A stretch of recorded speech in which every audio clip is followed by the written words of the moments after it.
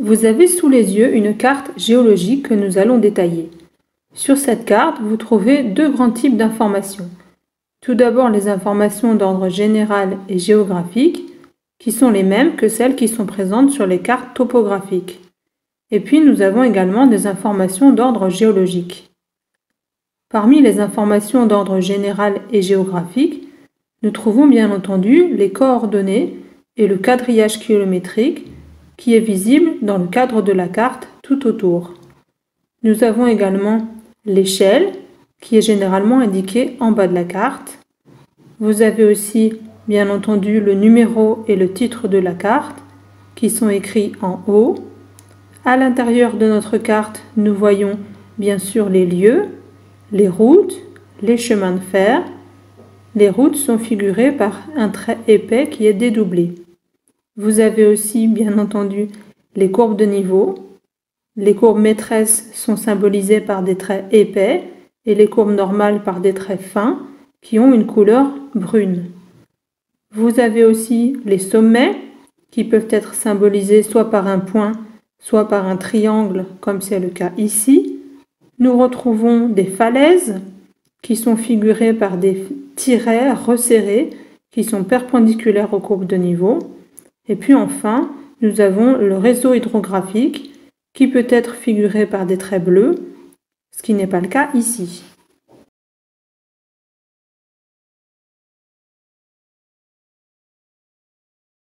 Les informations d'ordre géologique maintenant sont les suivantes. Nous voyons tout d'abord la carte avec toutes ses couleurs qui correspondent à des affleurements géologiques. Chaque étage géologique est caractérisé par une couleur bien déterminée qu'on retrouve sur toutes les cartes. Les limites des affleurements sont indiquées par des traits noirs fins. Nous avons également parmi les informations géologiques les signes de pendage que nous voyons ici à l'image. Ces signes de pendage vous indiquent la direction de la couche géologique ainsi que son inclinaison. Les signes de pendage peuvent correspondre à des couches inclinées, c'est ce qu'on voit sur les deux premiers symboles, ou bien à des couches horizontales, c'est le troisième symbole. Nous trouvons également l'indication des failles qui sont représentées par des traits noirs épais. Le trait noir est continu quand la faille est visible et il est discontinu quand la faille est masquée. On peut trouver également l'indication de gîtes de fossiles qui sont indiqués par ce symbole, ou bien encore l'indication de la présence de mines indiquée par cet autre symbole. Enfin, tout autour de la carte, vous avez de petits rectangles colorés. Ce sont les cartouches géologiques. Ces cartouches géologiques recensent toutes les couches géologiques visibles sur la carte, visibles à l'affleurement. Pour ce qui est des terrains sédimentaires, les cartouches géologiques sont représentées dans l'ordre stratigraphique, c'est-à-dire que les terrains les plus anciens seront trouvés en bas de la carte et les terrains les plus récents tout en haut. Donc la représentation des cartouches respecte évidemment l'ordre stratigraphique. Dans un cartouche géologique, vous avez toujours la couleur de référence pour chaque état géologique, le code de l'état géologique. Par exemple, ici, vous avez le C1, le C2, le Q. Et puis, vous avez une courte description des roches qui sont présentes au niveau de cet affleurement.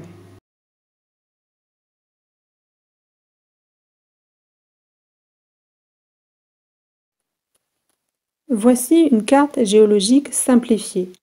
Le fond de carte utilisé est le même que celui dans ma vidéo concernant le profil topographique. Parmi les informations essentielles présentes sur cette carte, vous avez en bas l'échelle qui est égale à 1 20 millième, ce qui signifie que 1 cm ici sur la carte correspond en réalité à 200 mètres. Nous avons aussi des courbes de niveau les traits fins correspondent aux courbes normales et les traits plus épais aux courbes maîtresses. Vers le haut de la carte, nous avons un sommet symbolisé par un triangle et en bas, nous avons un cours d'eau. Parmi les informations géologiques présentes, nous avons des signes de pendage, ici au nombre de 2, et nous avons différents affleurements géologiques qui sont symbolisés par des couleurs. Il y a ici quatre affleurements géologiques qui portent les noms de C1 à C4 et qui sont délimités par des traits noirs épais. Bien entendu, les informations géologiques présentes ici sont extrêmement simplistes puisque nous n'avons que quatre couches géologiques et qu'aucune faille n'est présente.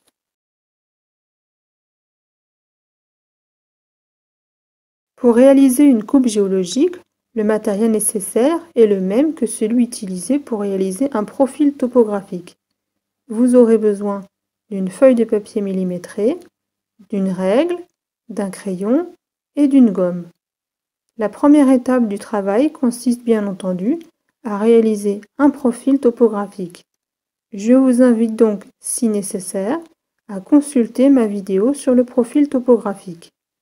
Ce profil a déjà été réalisé et nous allons maintenant voir les étapes qui suivent.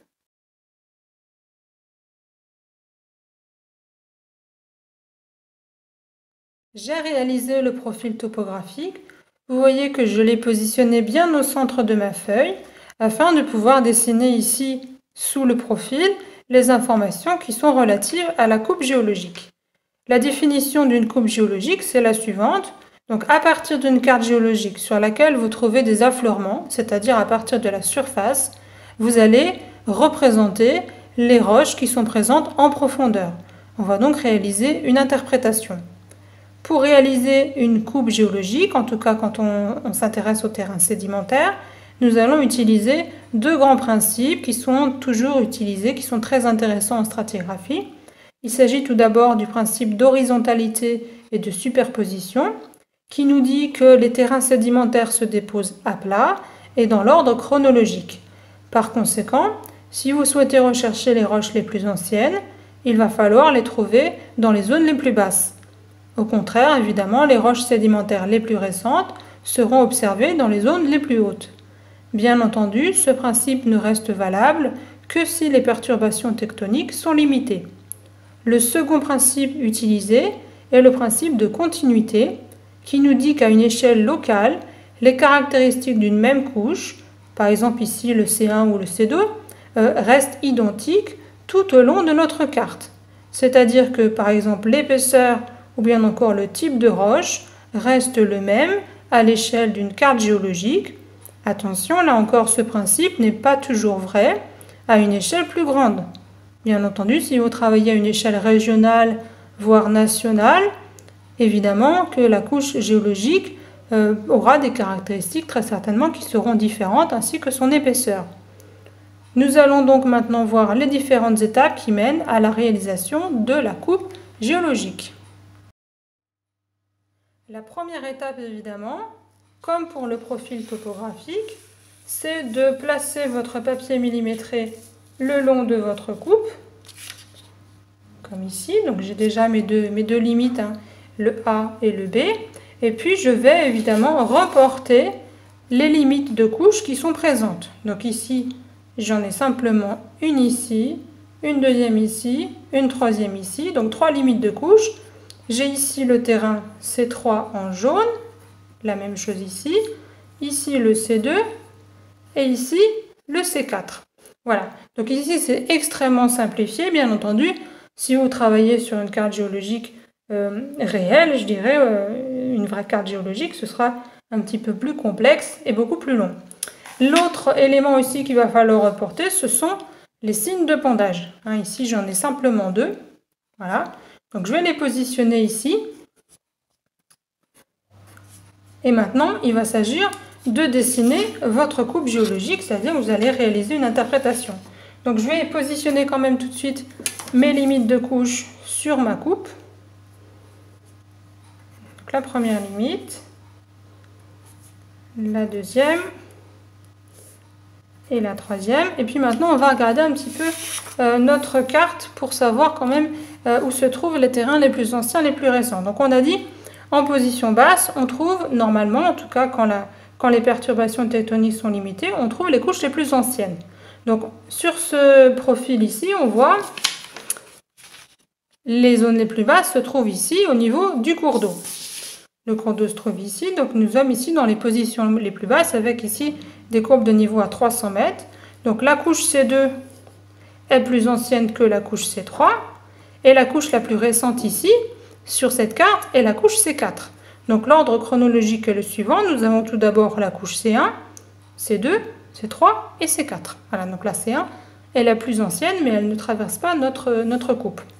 Ensuite, les signes de pendage ici, nous avons vu qu'ils nous indiquaient à la fois la direction de la couche et à la fois son inclinaison. Donc, on peut schématiser tout ça. Nous avons un pendage ici vers la gauche qui est de 20 degrés. Donc ça nous donne un petit peu quelque chose comme ça. Voilà, 20 degrés vers la gauche, excusez-moi. Et puis de l'autre côté, on a 30 degrés vers la droite. Donc c'est les pendages sont positionnés, donc ça nous donne sur le, trait de coupe. Donc 20 degrés, c'est approximatif. Hein. Vous pouvez utiliser évidemment un rapporteur, mais ce n'est pas forcément nécessaire. Donc c'est un pendage qui est assez faible. Donc voilà, 20 degrés, un petit peu plus redressé par ici, 30 degrés. Et donc en utilisant le principe de continuité, je vais euh, devoir dessiner ma couche ici, euh, C3, et je vais devoir garder son épaisseur afin de respecter le principe de continuité. Nous avons ici au centre la couche C2 et puis ici évidemment la couche C4. Donc maintenant je vais dessiner ma coupe. Donc voilà, je vais garder l'épaisseur de ma couche à peu près. Donc je continue ici, voilà, je garde l'épaisseur. Là je, veux, je souhaite garder l'épaisseur donc je vais être obligé d'aplatir ma coupe ma couche géologique, voilà. Euh, au centre de ma, de ma coupe, vous voyez ici, on a le terrain C1 qui n'est pas présent sur le trait de coupe. Mais si on veut respecter évidemment toujours ce principe de continuité, le terrain C1 doit nécessairement se trouver quelque part ici. Voilà, par en dessous. Et donc on voit une structure géologique se dessiner. Ici, nous avons une forme ici de type anticlinal donc avec les terrains qui vont dessiner une forme de A, ici, et avec les terrains les plus anciens qui se situent au centre. Et puis, à contrario, nous avons de l'autre côté ici une forme inverse qu'on appelle une forme synclinale, avec les terrains les plus récents qui se situent ici au centre. Donc une fois que ceci est dessiné, donc je répète que c'est euh, une coupe géologique très très très très simple, avec très très peu d'informations, donc extrêmement euh, simplifiée si vous avez affaire à des cartes géologiques plus complexe, ce sera évidemment beaucoup plus long, euh, notamment si vous avez des failles, si vous avez des perturbations tectoniques importantes. Donc il nous reste maintenant à indiquer les figurés qui correspondent à chacune de ces couches et puis à, euh, renseigner également la légende. Donc nous avons ici en bas de notre exercice les différentes couches avec les roches qui leur correspondent. Donc le C1 est un calcaire, le C2 une marne, le C3 un grain et le C4 un conglomérat. Donc chacune de ces roches se caractérise par des figurés standards. Donc pour ce qui est du calcaire, nous utilisons en général des petites briques. Donc on va voir tout ça. Pour les marnes, ce sont des tirets. Pour les grès, ce sont des pointillés. Et pour le conglomérat, ce sont des, euh, des formes arrondies un peu plus grossières. Donc il faut dessiner tout ça en respectant le pendage. Donc on va commencer euh, par exemple avec le C4. Donc nous avons ici voilà, des points de grande dimension et je respecte le pendage, c'est-à-dire que mes pointillés suivent la limite de la couche. Donc voilà pour le C4, le C3 est un grès, donc j'ai mis des petits points qui suivent la direction de pendage, voilà, etc. Le C2 est une marne, donc des qui suivent la direction toujours la limite de couche. Voilà. Et puis le C3, le C1, excusez-moi, est un calcaire. Donc représenté par ces petites briques. Donc je ne connais pas son épaisseur. Mon dessin est donc approximatif, donc extrêmement simplifié. Parfois sur les cartes géologiques, vous avez des indications de profondeur qui sont données. Et là, nous avons également du C3. Voilà, donc je vais mettre tout ça au propre et puis euh, on va regarder le résultat ensemble. Et voilà euh, à quoi correspond une coupe géologique simplifiée. Vous avez ici le résultat du travail sur la coupe géologique que j'ai mis au propre. Donc voilà l'exercice tel qu'il est attendu avec tous les éléments qui sont indiqués, notamment ici les axes gradués. J'ai utilisé l'échelle, évidemment. J'ai indiqué l'unité, l'orientation de chaque axe. L'échelle est indiquée en bas, ici un 20 millième sous format graphique et numérique. Nous avons ici la légende géologique, avec les cartouches géologiques qui sont indiquées dans l'ordre stratigraphique bien sûr, avec les terrains les plus anciens ici, il s'agit du C1, et puis en haut, les terrains les plus récents, c'est le C4. Donc le plus ancien en bas, le plus récent en haut. Nous avons ici le dessin de la coupe géologique. Vous voyez ce que j'avais indiqué tout à l'heure, il est extrêmement important de dessiner le profil bien au centre de la feuille pour évidemment avoir suffisamment de place ici pour le dessin de la coupe. J'ai indiqué ici la position de ces structures géologiques dont je viens de parler, c'est-à-dire l'anticlinal ici au centre et le synclinal ici. J'ai noté le nom des couches géologiques présentes à l'affleurement. Donc ici, nous avons trois couches différentes, C2, C3 et C4. J'ai euh, ajouté également la position de la couche C1, qui n'est pas visible à l'affleurement, mais qui est euh, présente en profondeur. Donc j'insiste à ce niveau sur le fait qu'une coupe géologique, c'est une interprétation, ce qui veut dire que selon les personnes qui ont réalisé la coupe, on va avoir de légères différences euh, sur l'interprétation notamment par rapport à l'épaisseur des couches, puisque cette épaisseur n'est pas indiquée, elle va donc être évaluée, ce qui veut dire qu'on pourra avoir des différences selon les personnes. Euh, on aura également des différences vis-à-vis des pendages, puisque les pendages sont seulement ici indiqués à ces deux endroits-là, mais ils ne sont pas indiqués partout. Et donc, il va falloir interpréter, ce qui explique des différences qui sont, qui sont possibles. Euh, moi, j'ai indiqué la couche C1 ici, j'ai choisi de la représenter à, cet endroit-là. Et bien sûr, c'est une histoire d'interprétation. Il ne faut pas non plus oublier euh, le titre de votre travail, donc ici coupe géologique entre A et B. Et puis, si vous le connaissez bien entendu, il faut préciser le nom de la carte, éventuellement ici son numéro. Donc ce travail est très très très simplifié, c'est un exercice de base. Euh, évidemment, si vous travaillez sur une vraie carte géologique, le travail sera beaucoup plus long, le travail d'interprétation sera plus complexe. Tout dépend aussi des terrains euh, qui sont présents. Si vous avez une évolution tectonique complexe, ça va être évidemment plus difficile. Si vous avez des failles, même chose, il va falloir travailler euh, un petit peu différemment, ce sera plus, plus difficile. Et puis euh, également, si vous avez des terrains métamorphiques ou magmatiques, ce sera là encore un travail qui sera différent, qui sera plus complexe.